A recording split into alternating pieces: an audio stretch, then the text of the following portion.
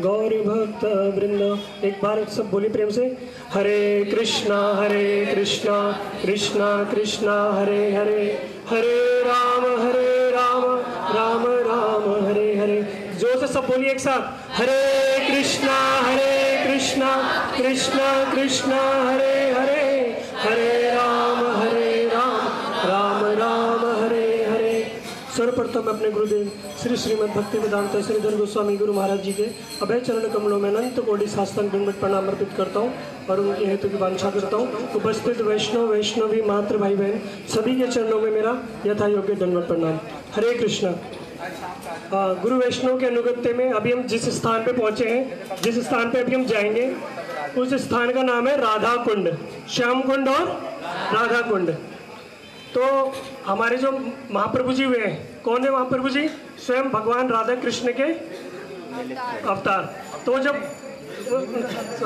Sorry तो जब वो राधा महाप्रभु जी यहाँ ब्रज में आए थे हरि बोल जब महाप्रभु जी इस ब्रज में आए तो उन्होंने देखा कि यहाँ पर जो ब्रजवासी थे इनसे पूछा कि यहाँ पर कोई ऐसा स्थान है?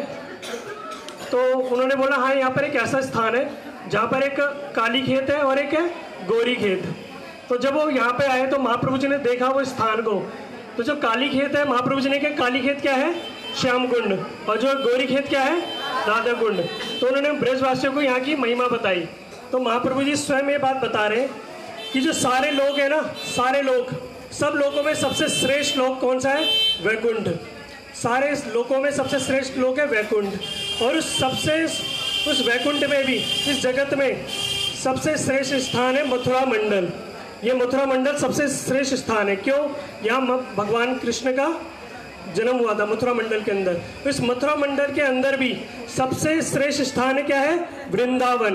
वृंदावन क्यों? क्योंकि वहाँ पर भगवान की बाल लीला हुई है। और वृंदावन के अंदर भगवान के चरण स्पर्श हुए हैं। मथुरा के अंदर भगवान के चरण स्पर्श नहीं हुए। मथुरा वृंदावन के अंदर भगवान की लीला हुई है और रास रासलीला हुई है। और बताया गया कि वृंदावन से भी सबसे श्रेष्ठ स्थान कौन सा है? वृंदावन से भी सबसे श्रेष्ठ स्थान है गोवर्धन। गोवर्धन, क्योंकि गोवर्धन को क्या बताया गया है? गोवर्धन को बताया गया ये है हरिदास वर्य भगवान की सेवा के लिए सबसे पहले जो सबसे सर्वश्रेष्ठ सेवक कौन है? गिरिराज जी। जब भगवान कृष्ण गिरिराज जी में जाते थे गौचारण के लिए तो जब आप गौचारण के लिए जाते थे तो भगवान हम सब जान, जानते हैं। भगवान कैसे जाते थे? नंगे पैर।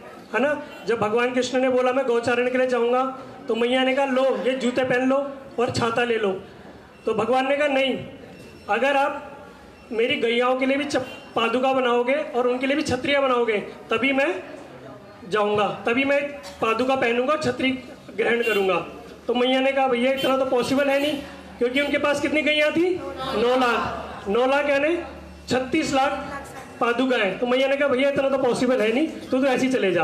और ठीक है, नौ लाख में छतरी कहाँ से बनाऊँगी तेरे लिए? तो तू ऐसे ही चले जा। तो गिरिराज जी में जाते थे। तो गिरिराज जी, देखो, भगवान के इतने बड़े अच्छे सुंदर सेवक हैं, वो क्या करते हैं? मुलायम हो जाते हैं।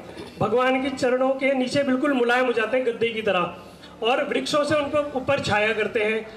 उनको जल की ज़रूरत होती है तो मीठा जल प्रदान करते हैं। उनके लिए बड़े सुंदर सुंदर फूलों के कुंज निकुंज बनाते हैं। भगवान की बड़े बड़ी तरह तरह से सेवा करते हैं। जैसा कि हम लोगों ने सुना गिरिराज जी की महिमा के बारे में, जब भगवान कृष्ण एक बार सुबह सुबह उठे तो उन्होंने देखा कि घर में बड़े बड़े सुंदर सुंदर पकवान बन रहे तो भगवान कृष्ण गए मैया के पास और बोला कि, मैया मैया, क्या आज मेरा जन्मदिन है क्या? मैया ने कहा, क्यों? कह रहे, मैया, आज इतने सुंदर सुंदर पकवान बन रहे हैं। मैया ने कहा, जा जा, तू मेरे को परेशान मत कर और नंद बाबा के पास जा।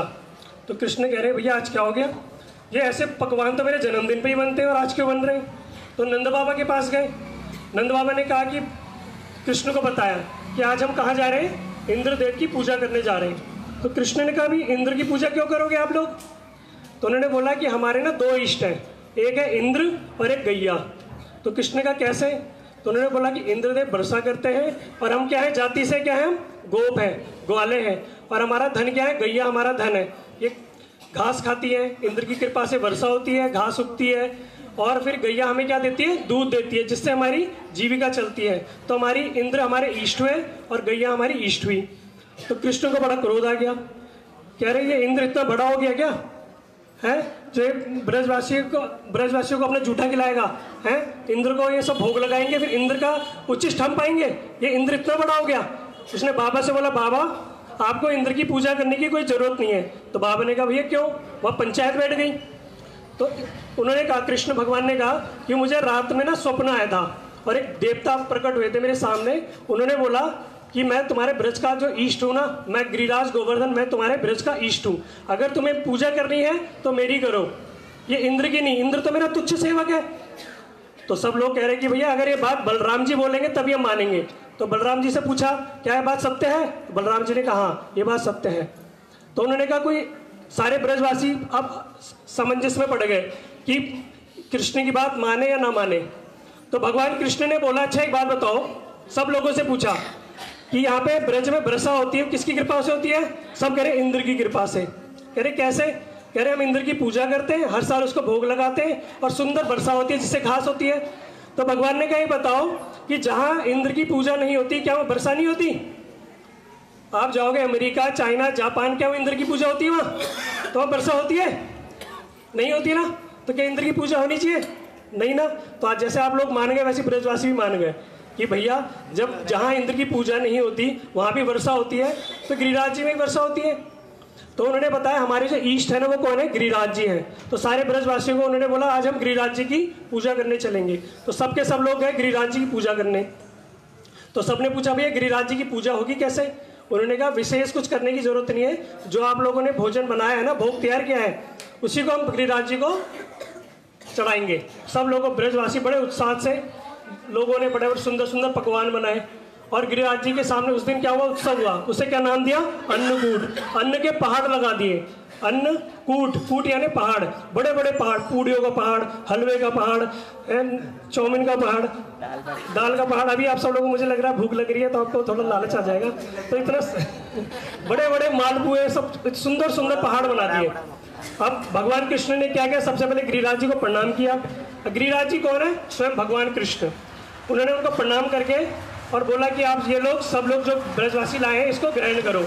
तो वहाँ पे साक्षात गिरिराज जी प्रकट हुए शिला के रूप में, और उन्होंने सब भोग ग्रहण करना स्वीकार कर दिया।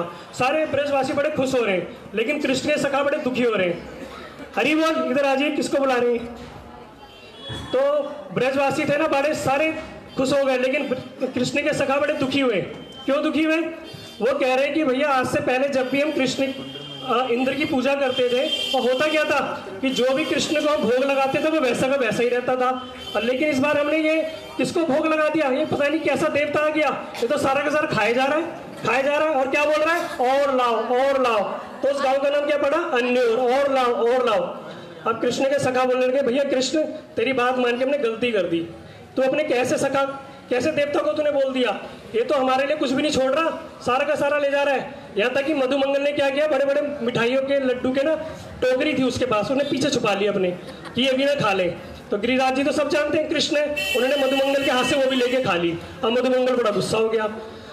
अब भगवान कृष्ण को बोलने लगा कि भैया, आज के बाद हम तेरे साथ नहीं खेलेंगे। है, तेरी वजह से हमें जो लड्डू मिलते थे साल में एक बार खाने को, वो भी नहीं मिल रहे। भगवान कृष्ण ने कहा, रुक जाओ।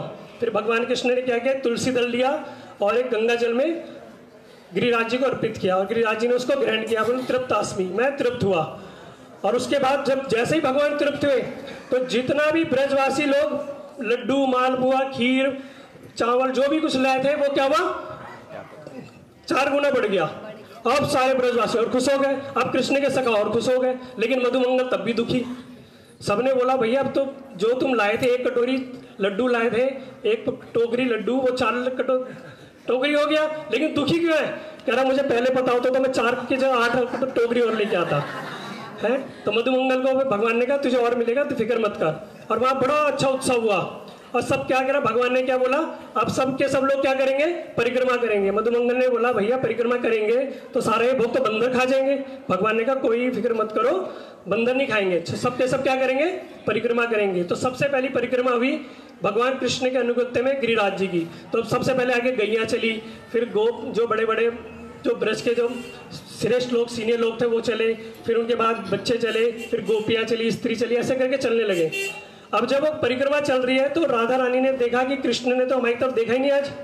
अब राधा रानी मन ही मन बोल रही है कि कृष्ण, अगर तुम हमसे प्रेम करते हो ना, तुम एक का एक बार हमें अपने दर्शन दोगे। अब भगवान कृष्ण जान गए। अब भगवान कृष्ण ने क्या किया? एक बछड़े को पकड़ा और उसकी पूछ ऐट दी और बछड़ा पीछे मुड़ के भागने लगा, गोपियों की साइड। अब भगवान कृष्ण छल से दौड़ते दौड़ते बछड़े को पकड़ने चले गए, गोपियों की भीड़ में और वहाँ राधा रानी को दर्शन दिया। राधा रानी बड़ी खुश हुई। अब वो बछड़े को लेके वापस आ गए। अब गोपिया और राधा रानी दोबारा बोली, कृष्ण, अगर वास्तव में तुम हमें प्रेम करते हो ना, एक बार दर्शन और दो। अब भगवान ने कहा, भैया बार बार कितनी पूछ है मैं बछड़े की अब क्या करूँ?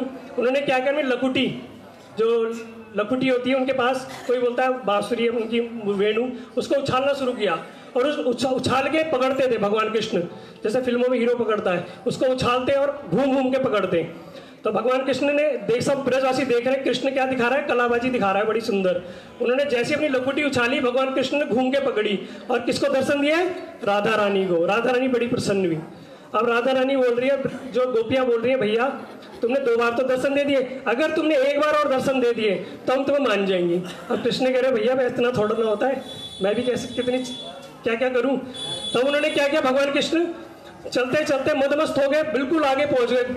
सबसे आगे जो, सबसे बड़े बड़े गोप थे उनकी भीड़ में, और वहाँ जाके देखने लगे, अरे, मैं कहाँ गया? मैं तो अपने सखाओं से दूर आ गया, है? मेरे सखा तो पीछे हट गए। फिर क्या करा, भगवान कृष्ण ने, दोबारा पीछे आने लग गए। दोबारा पीछे आए और फिर उन्होंने दोबारा गोपियों को दर्शन दिए। तो यहाँ पे बड़ी बड़ी सुंदर सुंदर लीलाएँ हुई गिरिराज गोवर्धन में। फिर उसके बाद जब बताया गया कि गिरिराज जी की परिक्रमा संपन्न हुई, अगले दिन जब इंद्र को पता चला कि भैया मेरी तो पूजा ही नहीं हुई तो इंद्र ने क्या करा? ब्रज के ऊपर अपने जो बड़े बड़े जो बादल थे ना, उनको बुलाया कि तुम एक काम करो, ब्रज के ऊपर बड़ी इतनी विपत्ति ला दो कि सारे का सारा ब्रज डुबो दो। सारे के सारे बादल आए, उन्होंने ब्रज पे घनघोर वर्षा कर दी। जब घनघोर वर्षा की तो सारे के सारे जो कुछ गोप थे ना, वो कहने लगे, नंद बाबा को। अरे नंद बाबा, आप पुत्र मोह में इतने, हैं, इतने पिघल गए कि आपने क्या करा? आपने कृष्ण की बात सुन ली, है, और इंद्र की पूजा नहीं की। देख लो उसका परिणाम। तभी वहाँ भविष्यवाणी हुई। वह ऊपर आकाशवाणी हुई तो गिरिराज जी ने कहा, आप सब लोगों को चिंता करने की कोई ज़रूरत नहीं है, ब्रजवासियों को बोला, आपको कोई चिंता करने की कोई ज़रूरत नहीं है। आप सब लोग क्या करो गिरिराज जी के नीचे आ जाओ। अब गिरिराज जी कितने कोष के? सात कोष के। और ब्रज कितने कोष का? चौरासी कोष का। तो बताया कि हमारे गोस्वामी वक्त बताते जब भगवान कृष्ण ने गिरिराज जी को अपनी वाम हाथ के नख में जब धारण किया तो गिरिराज जी कितने बड़े हो गए? चौरासी कोच के। बोल गिरिराज महाराज की जय। तो गिरिराज जी भी चौरासी कोच के हो गए। और सारे के सारे ब्रजवासी, क्या हुआ? उसके नीचे आ गए। अब अब देखो, जब बारिश पड़ती है, कोई लेकर छाता लेके खड़ा होगा तो बारिश कहाँ गिरेगी? साइड में। पैर तो पैर तो गीले होंगे ना। तो वहाँ पर फिर अनंत देव, जो भगवान बलराम जी बलराम जी ने कहा, मैं अब क्या करूँ? उन्होंने क्या किया, अपना अनंत रूप में शेषनाग के रूप में, पूरे ब्रज को घेर लिया और सारे पानी को वहीं रोक दिया। अब पानी को तो रोक दिया। अब पानी आप देख, लोगों ने देखा होगा कि जब इसमें केदारनाथ में, बद्रीनाथ में जब बाढ़ आई थी, कितना भयंकर बाढ़ थे। अगर वो ब्रज में नहीं आती तो कहाँ थी? दिल्ली, फरीदाबाद, जयपुर, ये सब डूब जाता, है ना? लेकिन फिर भगवान ने क्या करा? भगवान ने अगस्त ऋषि का आह्वान किया। अगस्त ऋषि कौन है? जो एक आचमन में पूरा समुद्र पान कर लेते हैं। एक बार अगस्त ऋषि ब्रज में आए थे। तो जब ब्रज में अगस्त ऋषि आए थे तो नंद बाबा ने बोला, कृष्ण को आप इनकी सेवा करो। तो कृष्ण भगवान ने उनको अगस्त ऋषि की बड़ी अच्छी सेवा की। बड़ा अच्छा उन्हें भोजन कराया। और जब भोजन कराने के बाद उन्होंने बोला, जल दो। तो भगवान ने बोला कि, अभी नहीं। अभी जल आपको अभी नहीं दूँगा मैं। समय आने पे आपको जल पिलाऊँगा।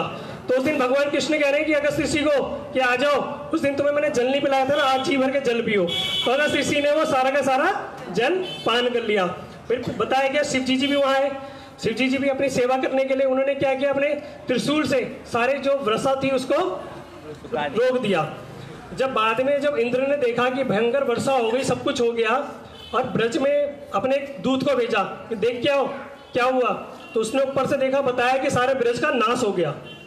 लेकिन तभी दूसरा दूत दूत आया, उसने बोला कि इंद्र को, अरे, ब्रज का नाश नहीं हो तेरा नाश हो गया। है? ब्रज में कुछ भी नहीं हुआ, एक चीटी भी नहीं मरी। जब इंद्र ने देखा तो बड़ा दुखी हुआ। उसने सोच समझ गया, कोई है, कौन है? स्वयं भगवान है। वो किसके पास गया? ब्रह्मा जी के पास गया। तो ब्रह्मा जी ने बोला, भैया तू क्या फंसा? मैं भी एक बार फंसा था। अब एक काम कर, तू वहाँ जाके भगवान के पास जा और क्या कर, ये सुरभि जो गैया है ना, भगवान को गैया बहुत प्रिय प्रिय है। नमो ब्राह्मण देवाय चा, गौ ब्राह्मण हिताय चा, जगत हिताय कृष्णाय गोविंदाय नमो नमः। तो तुम गैया के आगे गैया को आगे रख के जाओ और भगवान कृष्ण से क्या करो? समय याचना करो तुम्हें माफ़ कर देंगे। तो फिर इंद्रदेव आए उन्होंने यहाँ आए और इंद्रदेव ने गैया को आगे करके भगवान का अभिषेक किया। एक रास्ते में पड़ता है सुरभि कुंड वहाँ उनका अभिषेक हुआ और भगवान ने उन्हें माफ़ कर दिया। तो उनको नाम क्या दिया गया? इंद्र ने उनका नाम दिया गोविंद। जो गोविंद अभी हम कहते हैं ना गोविंद देव वृंदावन में वो नाम इंद्र का ही दिया हुआ है गोविंद भगवान को। हाँ जी? जयपुर में भी गोविंद। जयपुर जय जयपुर के गोविंद थी। जो जयपुर में भी गोविंद देव है। देखो गोविंद देव कौन है? वो ब्रज ये जो वृंदावन के राजा बताए गए। वृंदावन के जो राजा है कौन है? गोविंद देव अभी जो जयपुर में स्थापित है। अभी जो सबसे पहले वृंदावन में गोविंद देव आए थे, फिर आए थे मदन मोहन और वो सॉरी तो अभी जो स्थान पे जाएँगे, इसके बाद जो गोवर्धन से श्रेष्ठ स्थान बताया गया राधा कुंड तो राधा कुंड की महिमा क्या बताई गई है? कि एक बार भगवान कृष्ण अपने सखाओं के साथ गौचारण कर रहे थे। तो एक इंद्र वो कंस के पास एक राक्षस आया दैत्य उसने बोला कि, महाराज, मैंने सुना है कि आपका एक शत्रु है, कृष्ण। उन्होंने कहा हाँ। उन्होंने कहा, मैं उसको वध कर दूँ? कंस ने कहा, भैया, तू जो जाता है बोलता है, मैं वध कर दूँ और जो जाता है उसका खबर ही नहीं आती। जब तू भी चले जा। तो यहाँ आता है और किसका रूप धारण करता है एक बैल का। एक बैल के रूप में यहाँ आता है और भगवान कृष्ण पे आक्रमण करता है। भगवान कृष्ण क्या करते हैं? उसके पैर पकड़ के उसको पटक के उसका वध कर देते हैं। जब ये बात गोपियों को पता चली तो गोपियाँ बड़ी दुखी हुई। और जब वो क्या कर रही है, शाम के टाइम पे जब भगवान कृष्ण का आलिंगन करने आए तो उन्होंने बोला, हमें स्पर्श मत करना। क्यों? आपने क्या करा है? एक गोवंश में एक बैल का हत्या की है। तो उन्होंने कहा, भैया, वो तो एक राक्षस था। तो उन्होंने कहा, हम नहीं जानते। अब तुमने तुम क्या है? तुम्हें पाप लग गया है। अब तुम पाप लग गया है तुम्हें। अब तुम्हें हम हमें स्पर्श करने की ज़रूरत नहीं है। तो उन्होंने कहा कि प्रायश्चित है उन्होंने कहा "हाँ, आप एक काम करो सारे कुंडों में स्नान कर लो। जब तुम सारे कुंडों में स्नान कर लोगे तो तुम्हारा पाप सारा धुल जाएगा। भगवान ने कहा बस इतनी सी बात। भगवान कृष्ण ने क्या क्या किया? अपनी एडी से अपनी जो पैर की एड़ी से बड़ा ही सुंदर कुंड बनाया और उस कुंड में सारे के सारे जो देवी देवताओं जो सारे तीर्थों का आह्वान किया उन्होंने उसमें जल भरा। और भगवान कृष्ण ने क्या किया? उसमें स्नान किया। उस कुंड को बोलते हैं श्याम कुंड। बोल, श्याम कुंड की जय। अब जब गोपियों ने देखा, भैया, श्याम, इनका तो एक कुंड हो गया और हमारा तो कोई कुंड है ही नहीं। फिर क्या करा? सारी की सारी गोपियों ने भी बड़ा सुंदर कुंड बनाया। अब उसमें जल कहाँ से लाए? तो सारी की सारी गोपियों ने अपनी मटकी पकड़ी और जहाँ से वे भी आए थे मानसी गंगा वहाँ से जल भरने के लिए जाने लगी। तो भगवान कृष्ण ने सारे जो तीर्थों को बोला कि भाई यही सबसे अच्छी सेवा का अवसर है। जाओ श्रीमती राधा रानी का आश्रय करो और उनको अपनी सेवा प्रदान करो। तो सारे के सारे जो तीर्थ आए उन्होंने रा, राधा रानी से प्रार्थना की और सारे राधा रानी ने उन पर कृपा की। उन्होंने वो सारा का सारा जल फिर कहाँ डाला राधा कुंड में। फिर वहाँ राधा कुंड का क्या हुआ? प्रकट हुआ। बोल राधा कुंड की जय। तो यहाँ श्याम कुंड राधा कुंड दोनों बने। तो यहाँ इसकी महिमा तो बताई गई, बहुत सारी महिमा है अगर बताया गया हमारे गुरु गुरु बताते अगर किसी ने राधा कुंड में स्नान कर लिया तो उसे साक्षात श्रीमती राधा रानी के दर्शन प्राप्त हो जाते हैं। बोले, श्रीमती राधा रानी की जय, राधा कुंड की जय, श्याम कुंड की जय गौर प्रेमानंद। हरे कृष्णा, ये जो राधा कुंड, श्याम कुंड जाएँगे, ये साधारण कुंड नहीं। राधा रानी ही ये कुंड रूप में प्रकट हुई है। जो कृष्ण कुंड दर्शन करोगे, कुंड नहीं, वो कृष्ण ही कुंड रूप में प्रकट हुए। जो बीच का स्थान देखोगे, संगम। मतलब राधा कृष्ण दोनों यहाँ पर कुंड रूप में प्रकट हुए। अभी हम सुन रहे थे ना पृथ्वी का जितने सारे तीर्थ है, वो समस्त पृथ्वी का तीर्थ राधा कुंड श्याम कुंड रूप में प्रकट हुए। अगर कोई राधा कुंड, श्याम कुंड का आचमन कर ले, स्नान कर ले, कहते पृथ्वी का सारे तीर्थ में आपकी, यहीं पर आपकी स्नान हो जाएगी। इसलिए राधा कुंड श्याम कुंड जैसी जगत में और जगत में कुछ भी नहीं। इसलिए हम लोग गुरु वैष्णव का आशीर्वाद से, आप देखोगे राधा कुंड श्याम कुंड राधा रानी सिद्धि है, देखना वो कुंड भी पूरा चौकना देखोगे एक कुंड है।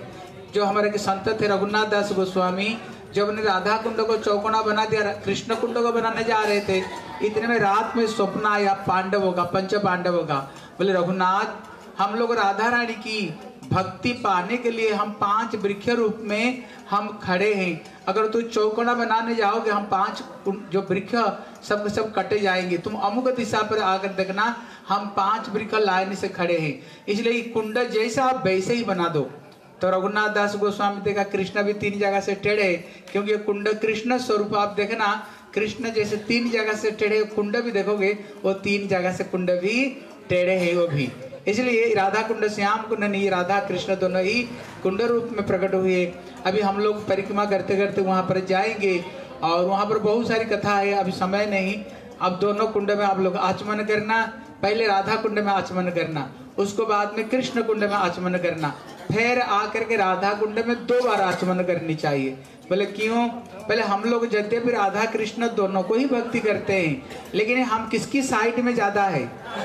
राधा रानी की। हम श्री राधा जी की अनुगत्य में ही सेवा करना चाहते हैं। कृष्ण की अनुगत्य में नहीं, हम श्री राधा जी की, किंतु राधा जी की कृपा होगा ना, तभी तक कृष्ण हमें प्राप्त हो सकते हैं। इसलिए हम हम लोग कीर्तन करते करते जाएँगे, प्रसाद अभी शायद आ जाएगा अभी, और वहीं पर दाल बाटी चूरमा खा कर घर में वापस आना। कुछ भक्त लोग बोल रहे थे, हम माला जब करेंगे हाँ जो माला लेना चाहते, सबर तो कुछ लिए है, जो लेना चाहते हो हम लोग आपके लिए माला भी एक एक ले आए। लकड़ी का माला लाए, तुलसी माला नहीं लाए। तुलसी माला तभी देते जब कोई प्याज लहसुन को पूरा छोड़ देते नहीं तो पहले लेकर के तुलसी की, लकड़ी की माला को लेकर प्रैक्टिस करना। प्रैक्टिस करते करते संपूर्ण जब प्याज लहसुन छोड़ दोगे पैर पैर आप लोग तुलसी माला लेकर के भजन करना।